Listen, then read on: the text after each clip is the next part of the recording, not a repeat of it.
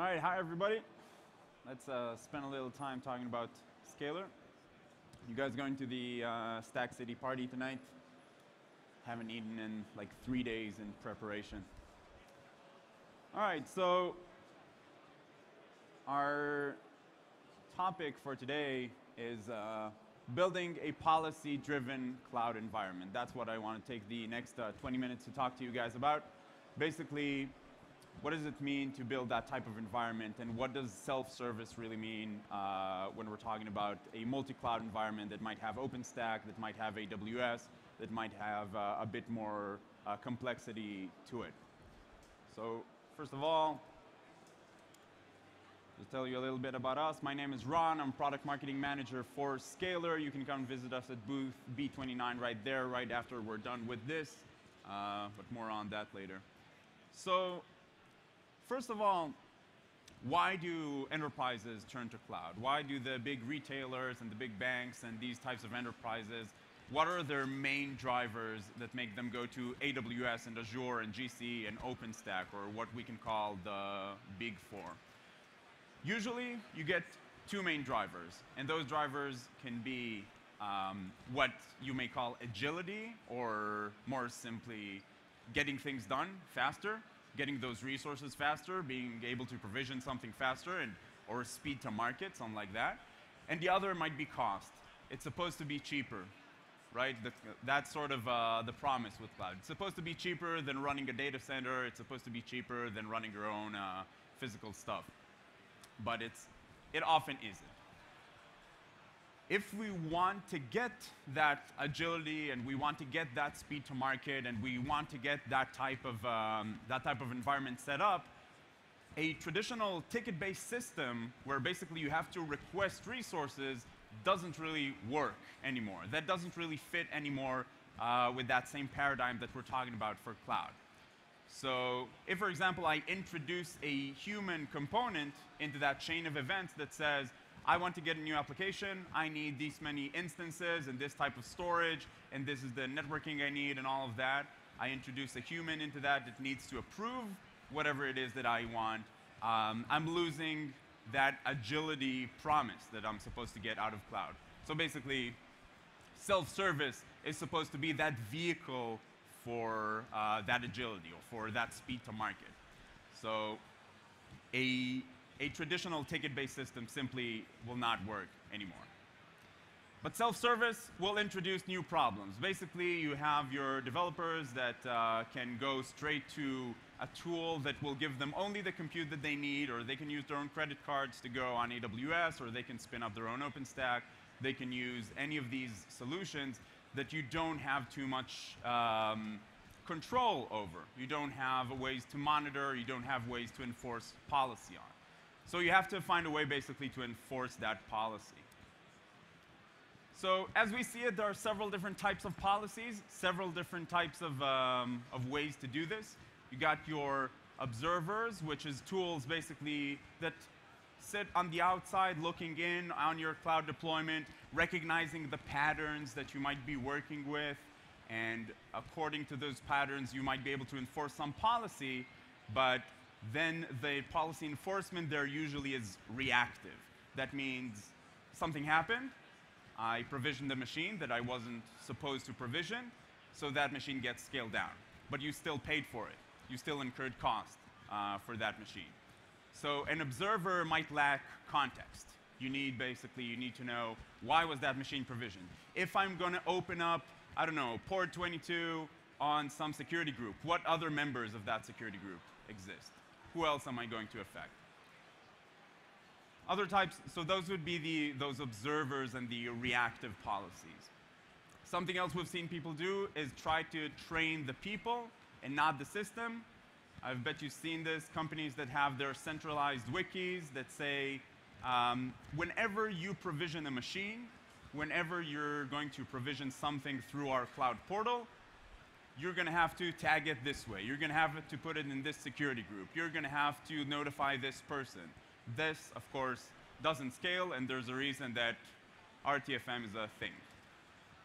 So that leaves us with inline policies. You have to have a single enforcement point Whether it is an API layer, whether it is a UI, whatever it is, you have to have a single enforcement point that users will go through, that will have context, that will be able to enforce those policies on whatever cloud that it is that you might be using.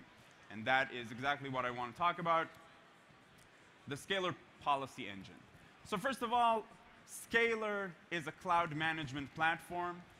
The idea with Scalr is to create a cloud environment where developers and users can consume cloud at a self-service model out of a self-service catalog, while the Scalr Policy Engine takes care of all the financial and permission and security policies that need to be around that.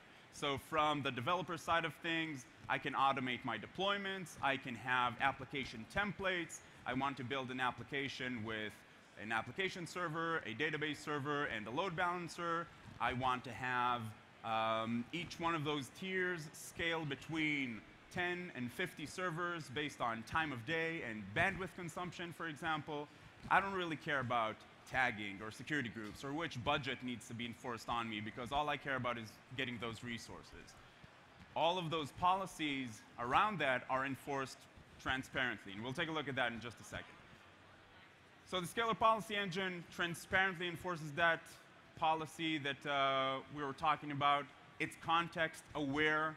It means that it doesn't wait until you did something wrong and then you have to fix that. It helps you avoid that wrong choice or eliminates it completely. Um, so that's what I mean by assistive or proactive. Let's take a look at how the tool actually looks. So what you're looking at right now is the Scalr Enterprise Edition. Scalr Enterprise Edition is deployed on-prem um, in your data center or on your cloud, whatever. Whenever you can run a Linux machine, you can run Scalr. And as we said, it's a cloud management platform that sits on top of your public and private clouds and creates policies and automation around them. And the idea here is, again, to create that self-serving cloud environment where all the policies that you need are enforced around it. So what you're seeing right now is what we call a Scalr account. And the approach that we took here, um, you can think of it like the federal government. So if I'm going to log out here one step back, and I have my, what we call the Scalr scope or the global administrator scope, this is like the federal government. So I can make rules here. I can say every virtual machine that gets provisioned needs to run this script or needs to run this chef recipe or needs to be in accordance with some sort of policy or I want to make sure this catalog item that you can provision is available for everyone on this cloud setup. The federal government makes rules. One layer below that would be the state. So the account, that's actually your independent cloud uh, deployment. So this account, a business unit or a department in your organization, basically the state, right? It has to do what the federal government said. Maybe Texas is not the best place to make that argument, but uh, it has to do what the federal government said, and uh, they can also decree their own rules. So you can also say, in this account, my different projects, my different environments, they have to follow these policies.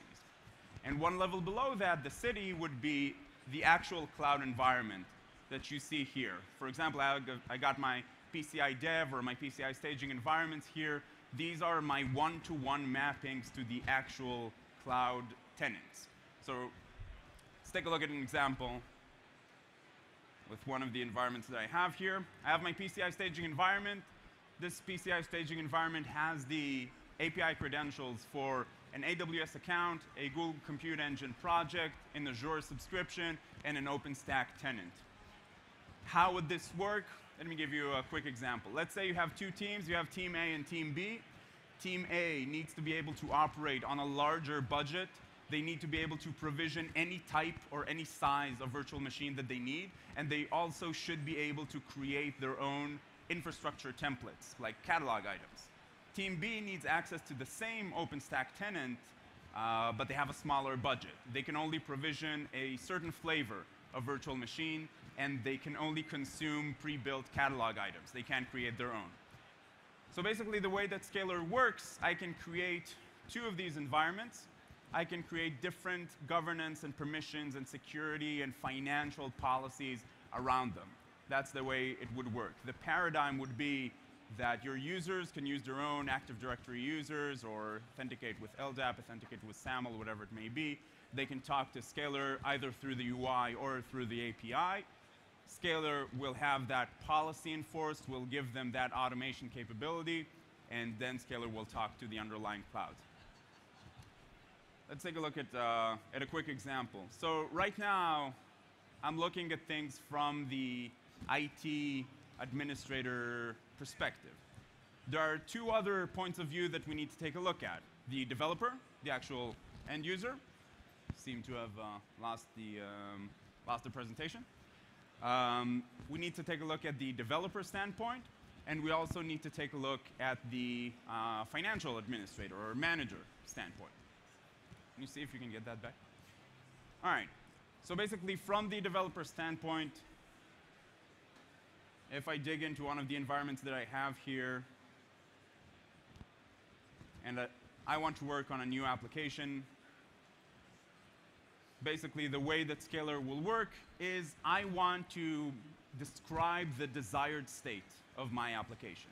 So the desired state of my application is not I want to go to OpenStack and provision one instance. It's more like I want to have a three-tiered application where I have my application server, and I have my database server, and I have my load balancer. And I want to run automation on my application servers to make sure that they scale up and down from 10 servers to 50 servers based on bandwidth consumption and load averages or whatever, or a custom metric that I want to come up with. Um, and I want to install some software on them every time a new server comes up. Or maybe I want to run some chef recipes on them every, every time these servers comes up. On my database server, again, I want to have an auto scaling rule. And I want to make sure that every time that a new database server scales up for whatever reason, or maybe one went down and Scalr auto healed that uh, server, I want to make sure that the application servers know about it so they can run some auto discovery script. And finally, I want to have, and again, this is just an example, an Nginx load balancer that uh, load balances between these different uh, between these different tiers. So I want my load balancer to load balance between all members of this application server tier, just as an example. And again, I could, uh, this, uh, you can find this example here on the Scalr Wiki. If you just Google Scalr Wiki, you'll find this tutorial to see how you build this exactly, and this can run on OpenStack or on AWS. Uh, but another example will be this, do the same thing, but you can load balance with an elastic load balancer on AWS. So it's flexible. So on the developer side, I can create these automated application templates, basically. Then I can trigger them with an API call. I don't have to do everything through the UI, of course. But from the administrative side, from the manager's side, uh, I know that all of these different policies have been enforced. For example, I know only certain sizes virtual machines can be provisioned. I know the tagging is correct. I know that uh, the right budget is being enforced. So we can go and take a look, for example, how much I'm paying for each one of these different applications. So I want to do chargeback based on specific teams and specific applications. So what Scalr provides is this single pane of glass or a single console, or we like to describe it as a single UI and a single API to orchestrate, automate, and enforce policy on multiple clouds. You create a single policy, and then you can use that policy across your OpenStack deployment and across your AWS and Azure and uh, GC deployments. That's the idea. You introduce a new tenant into the mix, a new OpenStack tenant, or a new AWS account, or a new Azure subscription. You don't have to recreate those policies. So it makes ramping up quick, and it makes, uh, and you can carry the expertise that you have on a single cloud into those other clouds, and create a standardized process for cloud provisioning. That is the, uh, that is the, that's what we're trying to build here uh, with Scalr. So we have a few minutes left. Does anyone have any questions before I just uh, continue talking? Okay, so let's take a look at uh, a few more things here before we wrap this up.